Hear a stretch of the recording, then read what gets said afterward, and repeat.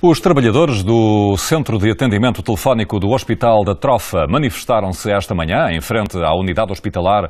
Exigem, sobretudo, um aumento dos salários. Queremos trabalhar com vida pessoal e familiar.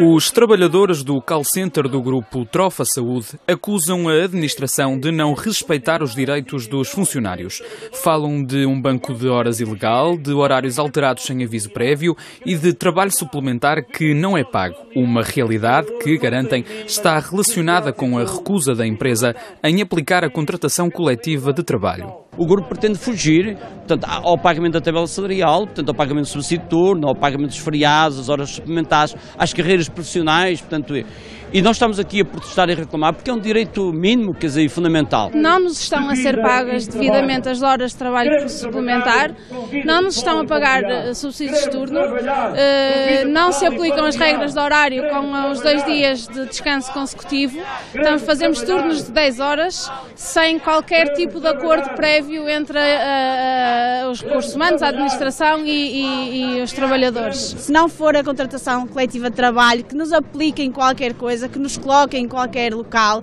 Estamos ali um bocado abandonados, uh, trabalhamos com todas as unidades do grupo, temos horários de trabalho de 10 horas, sem nossa permissão.